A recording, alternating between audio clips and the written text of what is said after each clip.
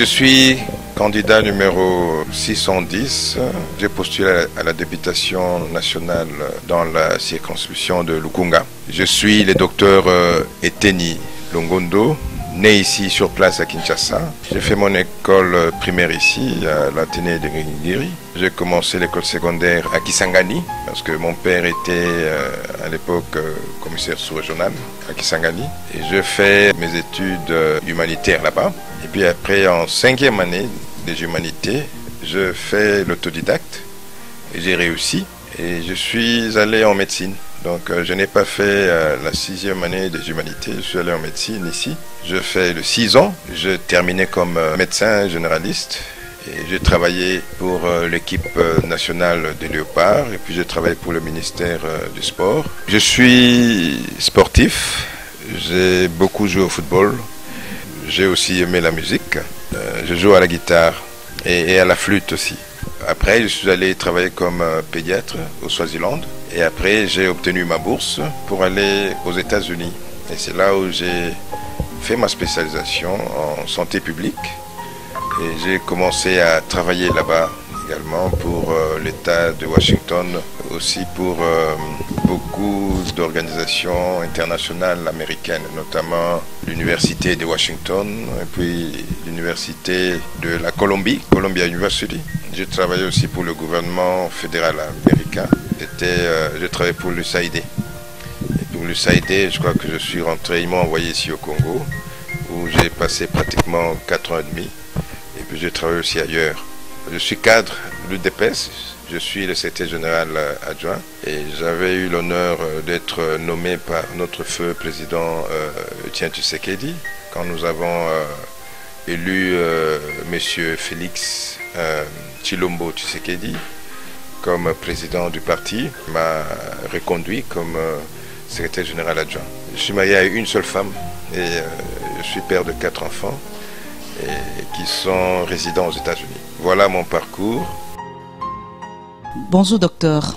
Bonjour madame. On vient de suivre votre portrait. Vous êtes médecin spécialiste en santé publique. Vous êtes aussi cadre de l'UDPS. Vous êtes secrétaire général adjoint en charge des finances et logistique. Vous avez postulé cette année. Vous avez posé votre candidature à, la circonscription de Lukunga, à la députation nationale. Alors dites-nous, pourquoi est-ce que vous vous êtes décidé de postuler cette année j'ai choisi de postuler cette année parce que j'ai lutté pour euh, le Congo et les Congolais depuis très longtemps, mm -hmm. en tant que cadre de l'UDPS, depuis que notre feu président Etienne Tshisekedi était encore vivant. J'ai continué la lutte après, mais j'ai pensé que cette année, je dois non seulement lutter, c'est-à-dire euh, parler de mes faits de ce gouvernement dans ma base, je crois que cette fois-là, je me suis décidé de devenir député, écarter le régime actuel et, parler de la population d'une manière officielle. Donc c'est pourquoi je me suis intéressé à postuler euh, cette année et, surtout euh, parce que ma population, là où j'habite, à Lukunga, est meurtrie, n'est-ce pas? Euh, Quand vous allez à, Ngaliema, à la commune de Kinshasa, à Barumbu, même à la Gombe. Tu vois, la, vie n'existait plus. C'est pourquoi je me suis dit, je, lutte pour euh, la population congolaise en général, et puis euh, spécifiquement pour euh, celles qui habitent à Lukunga. Alors, docteur, nous avons remarqué cette année, il y a beaucoup plus de candidatures et plus de jeunes hein, qui ont postulé cette année. Et vous êtes jeune aussi. Est-ce qu'on peut dire que vous êtes dans la politique pour vous enrichir? Je ne crois pas, madame. J'ai du travail. J'ai travaillé pas seulement au Congo, mais au niveau international. Et j'avais une situation sociale assez, assez bien. Et je ne me plaignais pas. Et, mais quand je, je reviens au Congo et je vois la misère, c'est mon pays, je l'aime beaucoup, j'aime bien la population congolaise, mes compatriotes. Et je me suis dit, je ne peux pas les laisser comme ça, il faut que quelqu'un, quelque part, puisse faire quelque chose. C'est pourquoi j'ai tout abandonné pour revenir et, me battre pour que mes frères et sœurs du Congo puisse sortir de, de cette misère dans laquelle le système actuel l'a plongé. J'ai été médecin ici, je mhm. vous ai dit, et à un moment donné aussi, j'avais, j'envoyais de, je supportais les étudiants ici. Mhm j'envoyais l'argent de Minerval à un certain nombre d'étudiants, mhm. euh, de l'UNIKIN, puis de l'université de Congo, l'université Congo, et puis l'université de Kikwit, puis l'université de Mbandaka. Donc j'ai sélectionné quelques étudiants euh, que je supportais, et, euh, c'est ce qui m'a amené, quand j'ai visité ces étudiants-là, c'est ce qui m'a amené aussi à... Parce qu'il y en a beaucoup hein, qui souffrent là-bas, qui étudient dans des conditions vraiment euh, qui ne sont pas normales. Et je crois que c'est ce qui m'a amené aussi à me décider pour entrer au pays et, combattre. Avec la politique active, d'abord, euh, quand j'étais étudiant, euh, mhm. j'étais, je m'étais intéressé à l'UTPS, mhm. n'est-ce pas? Et à l'époque, j'étais parmi les gens qui écrivaient sur le, mhm. à, l'université, à l'UDPS vaincra. Mhm. Mais je n'étais pas vraiment. Ça, c'était en réaction tout simplement à ce que Mobutu faisait aux étudiants. Mais je n'étais pas vraiment ancré à l'UDPS officiel. Mhm. Alors, maintenant, euh, ce qui m'a intéressé beaucoup plus à la politique, c'est pendant la conférence nationale. Quand j'ai entendu notre feu président Étienne Tshisekedi parler à la télé, mhm. et euh, je me suis dit, voilà un homme qui a une vision pour nous, et qui a une vision pour le Congo. Alors je me suis intéressé et puis je, suis même allé, j'étais encore jeune à l'époque, mhm. je suis allé chez lui. Quand on l'a nommé, je crois, on l'avait élu comme Premier ministre à l'époque par la, conférence nationale. Je suis allé chez lui euh, pour le, saluer. Donc euh, il y avait euh, des gens qui se sont alignés, voyez, alimentés là jusqu'à la route. Et je me suis aligné aussi. les gens voulait me chasser parce qu'il n'y avait que des papas. Moi, je suis là. Vous étiez jeune. J'étais jeune. Mhm. Et puis, je suis allé. Euh, euh, je l'ai salué. J'ai trouvé un pasteur devant moi. Et, quand le, président m'a vu, il était quand même étonné, un jeune euh, à mon âge. Et puis, il a dit au pasteur de, laisser un peu prêcher. Il m'a appelé. Je me mhm. suis approché de lui. Je l'ai salué. Il a dit Bon, qu'est-ce que tu fais? Moi, je dis Bon, C'était en quelle année? C'était en, vers les années euh, entre 90 ou 91 ou 92. en dehors de l'île de Pêche, quelle action avez-vous menée que nous pouvons vous repérer facilement En dehors de Pêche En dehors de Pêche, euh, oui. Euh, humanitaire, par exemple. L'action humanitaire, je vous ai mhm. parlé de. Je supportais une centaine d'étudiants. Mhm. C'est-à-dire je leur envoyais 100 dollars par an pour, pour étudier. C'était, une ONG C'était pas une ONG, c'était, euh, c'était moi-même. Ok. Oui, oui, c'était, moi-même. Euh, et puis je, je, le faisais comme ça. Et aujourd'hui, vous continuez à les faire? Euh, Pour certains. Pour certains. Mais, je ne veux pas beaucoup parler de ça. Parce que ça, c'est, je n'aime pas parler de ce que, ce que je fais comme humanité. Ça, c'est moi-même. Et et euh, il y a des étudiants maintenant que je, suis en train de supporter. On comprend que vous avez commencé avec la politique active dans les années 90, 90. Euh, on doit, pourquoi est-ce qu'on doit vous voter aujourd'hui? Parce que je crois que euh, d'abord, j'ai l'amour du pays et je suis en train de travailler pour le pays. Je crois mhm. que j'ai des témoignages partout les gens me voient dans, à, la, télé, à la radio, tout ça, c'est que je suis en train de faire pour le pays. Mhm. et, je suis en train de courir des risques quand je le fais. Vous mhm. savez, la politique euh, en Afrique, ici au Congo, c'est sale. Hein. C'est-à-dire, euh, quand vous la faites, vous ne savez pas si vous allez vivre demain, comment vous allez vous, réveiller. Il y a des tueries partout, il y a, il y a des arrestations, mais moi, j'ai pris mon courage, en tant que Congolais, en tant que fils de ce pays, pour combattre contre la dictature et, contre les gens de, mauvaise foi qui rendent le Congolais mhm. pratiquement esclave chez eux. Avez-vous un bureau dans votre circonscription? J'ai deux bureaux dans ma circonscription. Dans quelle commune, le par premier, exemple? Le premier, c'est à, Pompage. Mhm, et mhm. puis, j'ai un autre bureau à, à Canlouka. Donc, euh, c'est là où je pense que je vais commencer à recevoir la population pour parler avec la population, réfléchir ensemble sur ce qu'on va faire pour que Lukunga puisse se développer aussi. Après être élu, quelle loi comptez-vous déjà proposer à l'Assemblée nationale comme député? Madame, moi je crois qu'il ne faut, faut pas voter les lois pour les voter. Nous avons. C'est parmi les rôles d'un député, n'est-ce pas? avons, Nous avons des lois oui. qui sont des, très bonnes lois. Nous avons une très bonne constitution.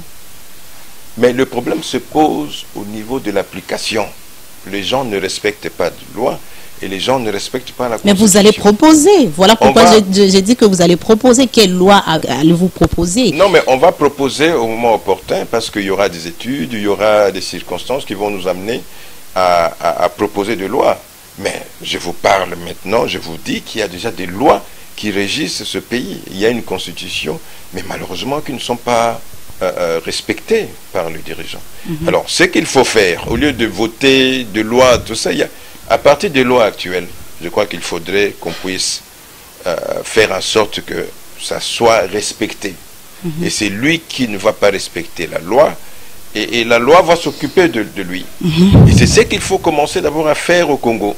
C'est-à-dire, il y a une loi contre la corruption, contre le vol, contre euh, euh, tout ce que vous connaissez comme euh, anti-valeurs. Il y a des lois déjà établies. Alors, nous, quand nous serons là, nous allons faire en sorte que ces lois soient respectées. Et c'est lui qui ne va pas respecter ces lois. On va, il n'aura pas sa place dans la société.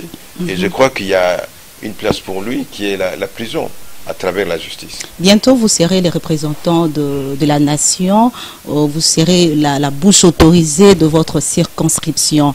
Alors, déjà, vous êtes candidat. Quel problème avez-vous remarqué ou bien quelle inquiétude avez-vous remarqué dans votre circonscription que vous allez essayer d'amener à, l'Assemblée nationale pour, pour trouver la solution? Dans ma circonscription, mhm. tout comme dans tout le Congo, il n'y a pas qu'un seul problème. Mhm.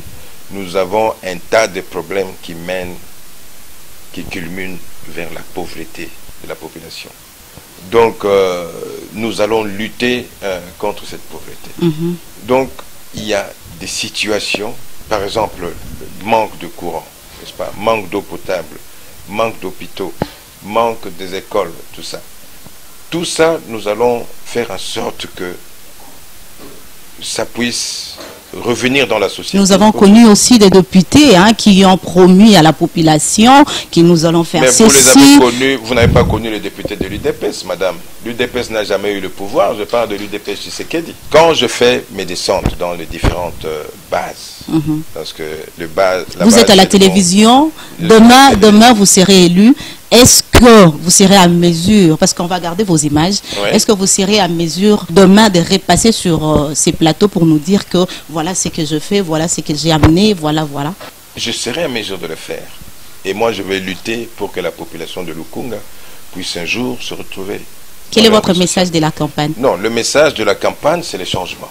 Le changement de la mentalité, c'est un message qui a, qui a, été euh, lancé depuis notre feu Etienne Tshisekedi, il y a le changement de la mentalité et puis le changement du régime et l'état de droit. Donc c'est ça le message de ma, de ma campagne. Ce que je remarque au niveau de la société, la vie sociale de Congolais, surtout le, je parle spécifiquement de Congolais de Lukunga, euh, qui, qui n'est pas, pas bonne. Nous n'avons pas d'électricité, il suffit de descendre à Kanluka pour voir il n'y a pas d'eau, et puis les gens, même enterrer, madame, enterrer quelqu'un d'une manière euh, euh, propre. Mhm. J'étais à Lukunga la fois passée, j'ai vu des gens euh, amener un corps inerte dans un, sur, je crois que c'était sur une natte. Et ça, à l'époque actuelle. Non, non, à l'époque actuelle. voilà, nous sommes au 21e siècle. Mhm. Et moi, j'ai fait couler de larmes comment ce régime peut nous amener jusqu'à ce niveau-là. Voilà, c'est la fin de notre entretien, fidèles téléspectateurs. Euh, vous avez compris que nous sommes là avec le docteur Eteni Longondo, euh, qui est candidat à Lukunga numéro 610. À présent, nous allons faire une descente euh, à la base, comme on l'a dit actuellement. nous appelons ça face aux électeurs. Face aux électeurs et à tout de suite.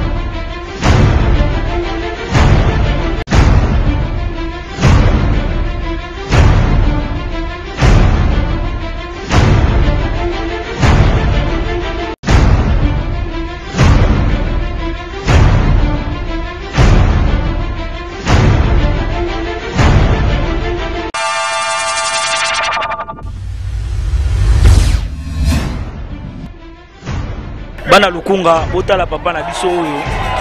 Etene molobeli na biso ya malamu na lukunga. Mbala liboso tobebisaki bavoi na biso na bandeke mwana lukunga nyonso yoka ngai jeune lokola yo oyo azosufri na kati ya lukunga awa. Kovote bivotela te. Topesaki nguba na bandeke bandeke yango lelo batikala ozongela biso te. 610 aza mutu oyo akoki kodesevoir biso jamais. Mpo na ngai christelle tovote papa na biso. Mpe na nsima kovote papa na biso aselesu makambo ya malamu. Numero 610 aza papa na ngai. Ndenge namoni papa na ngai bapasi oyo nyonso tozomona tozokende bamai ya selembao tonyata makolo ngulu bapotopoto mpe koteka mpe biso eza biso te. Tozaka na posa numero 610 abongisela biso kaka avenir oyo eza banzoto na biso te. Kolia bi eza te tovivre bien te numero 610 botala bien mpo na papa. Eteni longondo papa